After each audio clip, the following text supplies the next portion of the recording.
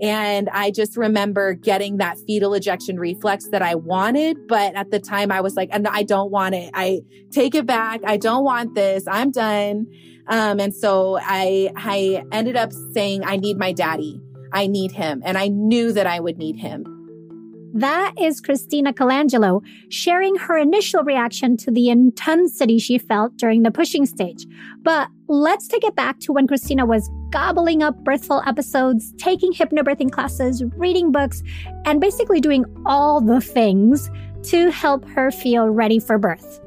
I'm Adriana Lozada, and you're listening to Birthful, here to inform your intuition. Welcome, Kristina. It is so lovely to have you here on the show to tell your story today.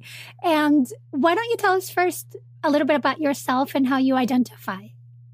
Okay, so I am Kristina Colangelo. I identify as she, her. And I am a stay at home mom now. I got out of the work sector a year ago when I became pregnant. And I am a trained doula and professional baker. So take us back about a year and a half ago when you were first pregnant and what were some of those things that you did to prepare that were key for the birth experience that you were looking to have? So I think first and foremost, the main thing would obviously be your podcast. I've been listening to that for years now. I want to say probably three years. I also found a hypnobirthing type class. And then I did a bunch of reading. I read Ina May Gaskin's books. I tried to watch as many birth videos as I possibly could, just as many positive videos, um, home births, hospital births, the whole enchilada, because I really wanted to be prepared for anything at that point. Um, and then I really just kind of sat back and just tried to listen to myself and just tried to listen to what my body was telling me to do. So I really wanted, at first, I really wanted to have a home birth, but I knew that that was just going to cause kind of a lot of stress on our end, just with me being a first time mother and with my family, you know, that wasn't something that they were really prepared for with us living so far out of town. So we decided on having a birth center birth. And it was really important to me that I had actual, um, actually the midwives that trained me as a doula as my midwives. And the kind of problem I ran into was that they live four hours away. So they were so gracious enough to offer up the opportunity to have my birth there. And so we just really had to figure out how to make that work. But with that kind of came some difficulties that I didn't foresee with getting diagnosed with severe hyperemesis gravidarum at about six weeks pregnancy on.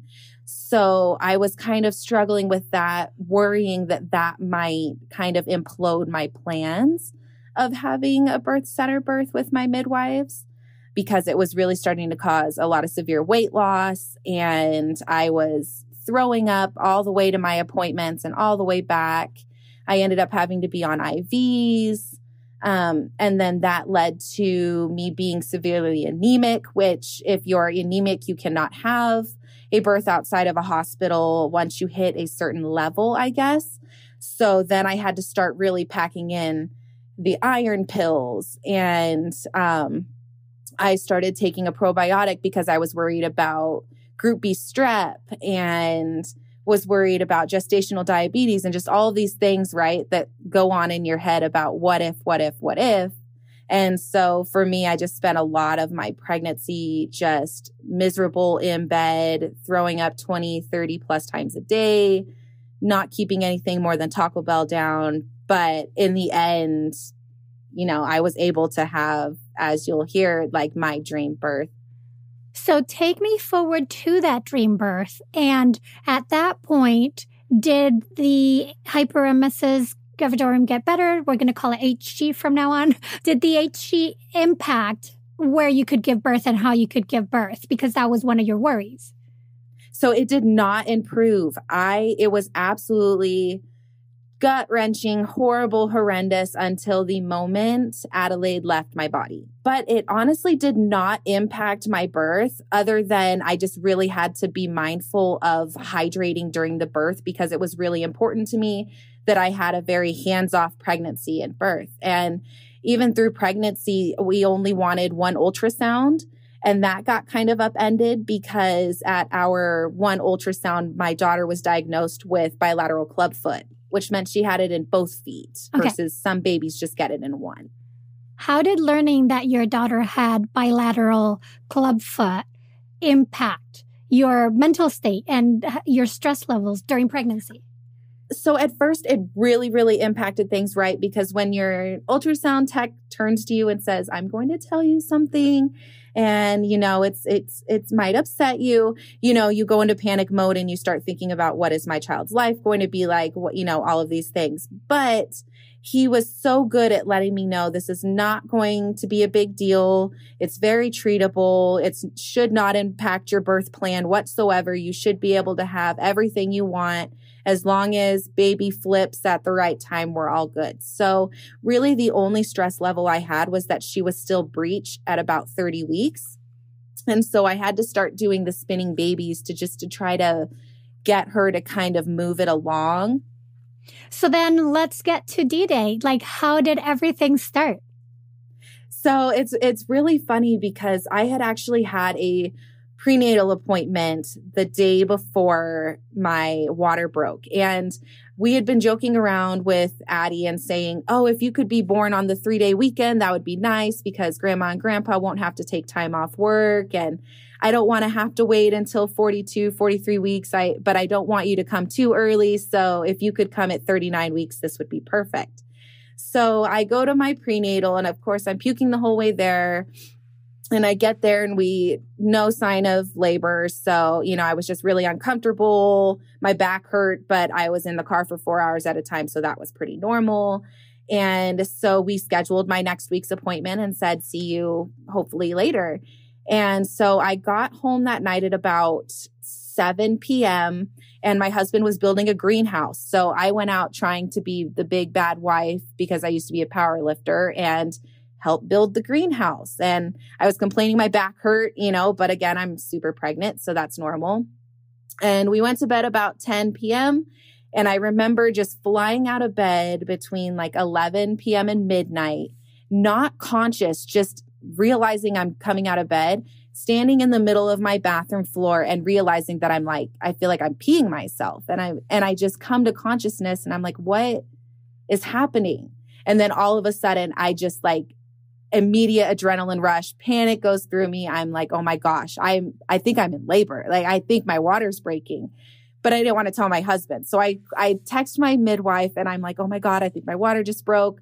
So we're going through all these, you know, different things. What does it smell like? You know, is there a lot of it? At that point, I felt comfortable waking up my husband, waking up my parents, and we headed off to the birth center because I didn't want to get stuck in the car. So at that point, I tried to make myself as uncomfortable as possible because I refused to allow myself to think I might give birth in the car. And so I just told myself, do all the things you know that will stop labor and just so you can get there. Uh, so we got to the birth center that morning and my midwife arrived. She was already there anyway. And she checked me, but I was only at like a two.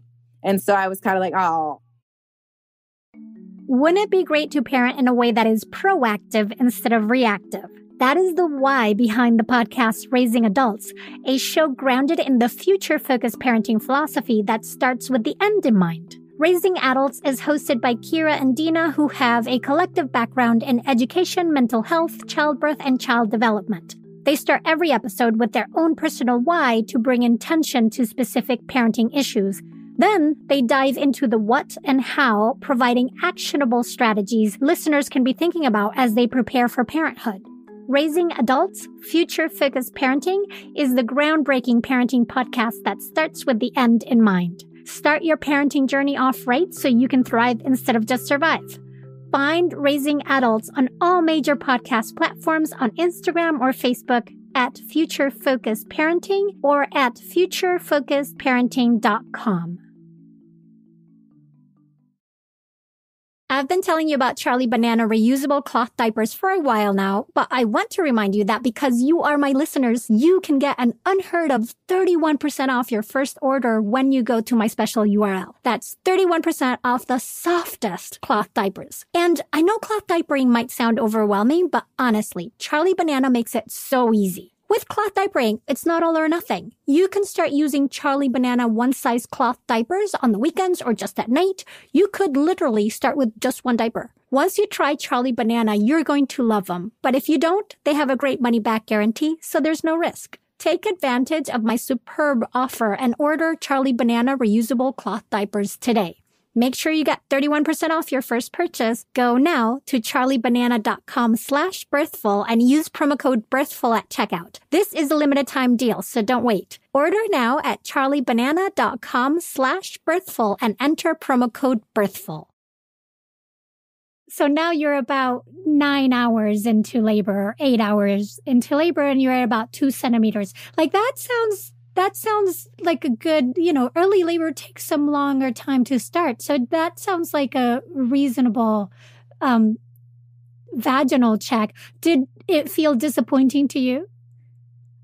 I think it did only because my water had broken. And so we were scared that I was on that time clock. And so in my head, I was just like, oh my God, now I really have to do all the things to make that happen. And so that we ended up just ha- like walking around Lowe's for a lot of it. But I will say that nobody told me that you leak a lot during pregnancy. Even as a doula, I didn't know that. So I just had a little pad, like nothing. And I remember flying across Lowe's, just like, oh my God, I'm peeing myself. I, everybody get out of the way. Like, I need to go. And just spent the whole time being like, oh my God, mom, this is awful. I stink and I'm peeing myself. And she's just like, baby, you're in labor. It's okay. You're just do do your thing. right. Because once your water breaks, you continue to leak throughout. Like your body keeps making water and it keeps coming out. Yes, I had no idea. After we left Lowe's, we went and got some food, went back to the birth center. And at that point, I want to say that I got checked again, but I was only at like a three. I mean, it literally had gone nowhere. And so we made the decision to go to my doula's home at that point because I didn't feel comfortable laboring in a hotel. I felt like I was going to get kicked out. And I just did not want to have to worry about that. I really wanted to be free and not have to say, okay, come over here, doula. No, don't come over. Okay, come over. No, don't come over. So we ended up just being at her home for that main portion of um, that kind of like midway point um, in labor to where I wasn't really fully in active labor yet, but we things were really picking up to that point. And meanwhile, I'm also throwing up my whole labor, you know, so we ended up having to speed things along a little bit because we were worried about hitting, we had to kind of just hit that 12 hour mark. Um, and so my midwife kind of spoke with me about things about what we wanted to do. And we ended up having my doula, who's also a professional massage therapist, give me a massage with fennel essential oil, basically to jumpstart labor and massage techniques on different pressure points. And at that point, she said, if this doesn't work, we're going to try nipple stimulation. And let me have you back up. You said you were at that 12 hour mark. Let's explain a little bit more what that is. And this is something that just fit with your providers. They, in terms of their protocol, at 12 hours after your water breaking, what would happen? So at that point, they really have to jumpstart things because I guess it used to be in Utah that at 24 hours, you were mandated to go into the hospital after your water's broken. So at that point, I really was on, I only had 12 hours left before my hopes of having, you know, my full physiologic, no stress kind of birth were going out the window. So we really wanted to do as much as we could holistically to get things moving at that point. So thankfully, she gave me a call about an hour later and said, Stop everything. If you haven't done it yet and you don't want to do it, you don't have to. We looked up the newest laws and it looks like you actually have a lot longer before you have to be admitted to the hospital like days. So we're we're good to go if you don't want to do anything else. And from that point, my body was like, yes, and just started all the things. And my body like really started kicking it in gear at that point. So when you say kicking it in gear, like what were contractions feeling at that point and how did they change? So at that point, I really was just like, oh, I'm contracting. Oh, it's annoying. And so I got up and I took a shower because I wasn't allowed to get in the bath. And at that point, that literally I can say was probably, other than the puking during contractions, was the worst part of my labor because I just wanted to be in the bathtub. I live in the bathtub. That is my everything. That's my happy place just made it worse. And they didn't want you to get in the bathtub because they had some protocol against infection happening? Yes. So they were worried. They just said that um, it could potentially get water inside of the vagina if you're sitting in the bath late labor. Yeah. And I want to say that every practice has like different protocols, and I've seen it go both ways. I've seen it like your water breaks and there's no problem at all if you want to get into the bathtub and then your water breaks and it's like oh no avoid it like the plague so it really it's it's interesting to me how that can fluctuate so much yes definitely and it really goes to show you like how important your like mind over matter is because literally just knowing i couldn't really made it so hard for me. And so the shower was a, a, way for me to still get kind of that, that warmth and that feeling. And my husband even says till this day, as soon as I got out of the shower, it was like the waves. I mean, my contractions just hit full force and I, I was just loud. And I just remembered to try to be as animalistic and deep and just, you know, aggravating as possible to everybody because it just felt so good. And that was literally the only way that I could make it through. And so I had my doula because I was laboring at her home. She laid by my bedside and she'd go to sleep and wake up for my contraction, do some counter pressure, lay back down again. And we did that um, on and off. And uh, I went to Taco Bell and I got a little bit of Taco Bell. Again, that was the only thing I could keep down. And we really just kind of waited things out, waited things out because my midwife didn't really want me to necessarily come to the birth center unless I wanted to go. I mean, she said I could if I wanted, but um, if I was comfortable laboring at her home to just try to wait it out as long as possible. And how far was her house from the birth center? Her home was only like five minutes from the birth center. Okay. So, so it made it so much easier than having to even navigate anything else at that point. So, so then you're yeah. you're at her house, you've eaten some Taco Bell, contractions are coming strong, you guys are really relaxing into it and kind of getting that support through the contractions and trying to do basically nothing in between. Then what happened? So at that point, things just really got to the point where I was like, I cannot, I like, we need to go. I need to get somewhere else. We just need to mix it up. I'm in way too much pain. I mean, I, I was doing my hypnobirthing, but I, I definitely can say, you know, you, you know, you're in labor. So we picked up and I remember I had a contraction right before I got in the car and it was agonizing. I just, it was crippling. I got in the car. We got to the birth center. As soon as I got out, I had another crippling contraction right there in my mom's arms. We went in. And at that point, I just went into the kind of birthing room that they have set up, like the bed. And I laid down, um, like almost in a child's pose, but more with my legs spread so that I was like really stretching everything out. And I laid there, I rubbed my belly and I just spoke to my daughter and I said, you know, even if I'm puking, thank you for showing me how strong you are. That was my mantra through my whole pregnancy. Thank you, body, for showing me that my daughter is still living inside of me. I will take whatever you throw at me if this means that my daughter is healthy and thriving at the end. I will take it. And my mom just took me into her arms and she held me. And, you know, I told her, thank you for going through this for me. And it was just incredible having her, my doula doing counter pressure, and my husband stayed with me the entire time as like a dadla, just reminding me the things that he had seen in class, you know, and that was incredible. And you had mentioned that her club foot impacted the labor. How did it impact it? So her clubfoot ended up impacting it because just with me being so small and her being so scrunched up the way she was, she was very posterior still when I went into labor. So during my labor, my doula ended up using the rebozo just to try to help kind of create space for her to try to kind of get into a little bit of a better position.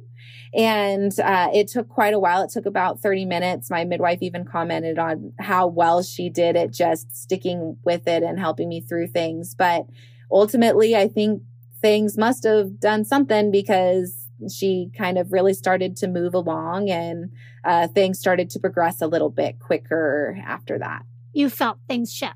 Or at least I, I, I feel like they did, yes. and so at that point, I was checked at a I don't know, probably 9:30ish and they said, "Yep, you're ready. Let's get in." I didn't even wait for the birth water to be cool. It was hot as heck when I got in. And as soon as I went in, I just threw off my clothes, sunk into the water, and it was like every cell in my body relaxed. And it was just absolute nirvana. And I just like pushing began without me knowing it was beginning because my body just like went from seven to let's do this thing because of that stinking bathwater. And at that point, I started yelling, I can't stop it. And I just remember getting that fetal ejection reflex that I wanted. But at the time I was like, and I don't want it. I take it back. I don't want this. I'm done. Um, and so I, I ended up saying, I need my daddy. I need him. And I knew that I would need him because he's always been my rock. So he grabbed my hands because I didn't feel comfortable. I said, I don't want to hurt anybody. So I grabbed him. I leaned back because that was the only way I felt like I wasn't going to tear. And I just stared him in the eyes and he said, you know, remember all the hard times we've been through. Remember all the times we used to run together. We're right there. This is right where you're at. You're almost there. Um, my midwife at one point had to stare me in the eyes and I just had to say, please don't leave me. Please don't leave me. Just keep talking to me. Do whatever you have to do. And I pooped at one point and I was like, oh my gosh, I'm pooping. I'm so sorry, even though I knew I was supposed to. So another midwife is fishing it out. You know, it just was so magical and funny. So it was literally like I almost got depressed after birth only because it was such an incredible feeling. I just wanted to experience it every day. And when you were saying you were trying to like fight that fetal ejection reflex, why what was making you fight it? I was fighting it just because it was so intense and I was just not prepared for it. And in my head I was just like this is the worst poop I've ever had in my life and it's going to blow out my butt. Like that, I literally was just screaming, it's my butt. My butt is going to explode. Like this, I just had to do whatever I could do to remind myself that like, okay, if I do it at this angle, it doesn't quite feel like that. And I can allow this. And when I say like there was no break, I mean, her head and body came out in one swoop like a torpedo. There was no, it was like she crowned for a second and then just shot out. My husband could barely catch her in time because she just was so slippery and he had his hands at my perineum. My midwife showed him how to do that. And yeah, it was just magical. She came out teeny tiny and immediately was pink and screaming and like immediately started sucking on my arm. Aw. oh, did you, with all that intensity, did you tear at all? I did not. I had a tiny little abrasion, but I was up walking around afterwards. My midwives were like, please get in bed. You just had a baby. Addie was so small. I didn't even have diapers small enough for her. So two hours after the birth, I was proving I could urinate by myself out the door and at Target buying some preemie diapers and hiking my bags from the car to the hotel room, which inevitably almost did make me pass out. So I did kind of actually regret that after a little bit. But. Because you just, you're still on that adrenaline high. But I don't think there's got to be very few people who had a birth and then went and to Target to buy some some newborn diapers. How what was her size? How big was she?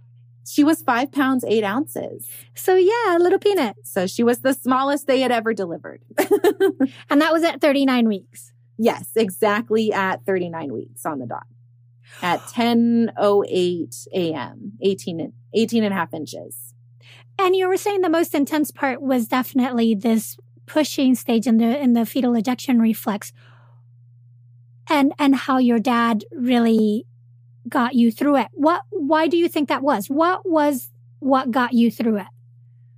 Just that intense love that I felt. Like I have never felt more cared for and safe and sacred in my entire life and just knowing that even if my parents didn't trust the process and didn't feel comfortable, they never showed it to me. And they just did everything that I had asked them and fought with them for the entire pregnancy. And to have them experience that with me and see what birth could be and see that it doesn't have to be scary. It doesn't have to be traumatic and to bring their own grandchild into the world. Like that to me was everything. Like staring my midwife in the eyes and experiencing my baby coming out and just staring her deep in the eyes. Like I can't even ex- like explain the spiritual connection that that gave me with her. And ultimately now I want to train as a midwife under her because of that. Kristina, what would you say to people listening and who are feeling maybe, you know, anxiety or fear about the process of giving birth and the intensity? What would you say to them? It's so okay to feel like that, and you're going to feel like that. But if you can embrace that and just surround yourself with people that you know, like, will get you through that, like, ultimately just surrender to it and know that you can't be in control of anything whatsoever. But if you can be in control of the people around you and know that you are going to be sacred in that space and you have found your people to ensure that you're you're going to feel that way no matter what then you can feel comfortable knowing that whatever comes your way like it doesn't matter. You are going to walk away from it thriving and just bringing towards the world you know more peace and more positivity and so just embrace it, embrace the fear, embrace the sensations and the discomfort and the grossness and just live it and thrive in it and just take it for what it is and just know that we are meant to do it. Thank you so very much for sharing your story with us today. And I'm so glad you had an experience that was so powerful, like the one you were looking for. Yes, thank you so much. And I can honestly say, like, your podcast seriously absolutely changed my life years ago. And I, I can't say how much of an honor it is to be on it after so long. So it's incredible. Thank you so much. Yay. That was mom and professional baker Kristina Colangelo. You can find her on Instagram at Power Baker. I hope that your main takeaway from this episode is how vital it is to have a solid support team that can help you get through the unexpected ups and downs of birth, even if you have done all the things to prepare. So the one thing you can do for you is to choose your birth team wisely and get a doula, especially in these pandemic times where family member support is generally limited to one person. Having a doula is going to make an enormous difference. The one thing you can do for the rest of us is to learn about, share, and support the work being done by Miracle Feet to eliminate clubfoot, which is a treatable condition that affects over 2 million children worldwide. Miracle Feet is increasing access to proper treatment for children born with clubfoot in low and middle income countries through partnerships with local healthcare providers, enabling them to live fully productive, active, and healthy lives. Learn more at miraclefeet.org. Birthful was created by me, Adriana Lozada, and is a production of Lantigua Williams & Co. The show's senior producer is Paulina Velasco, Jen Chien is our executive editor, Cedric Wilson is our lead producer, and Kojin Tashiro mixed this episode. Thank you for listening to and sharing Birthful. Be sure to subscribe on Apple Podcasts, Amazon Music, Spotify, and everywhere you listen. And come back next week for more ways to inform your intuition.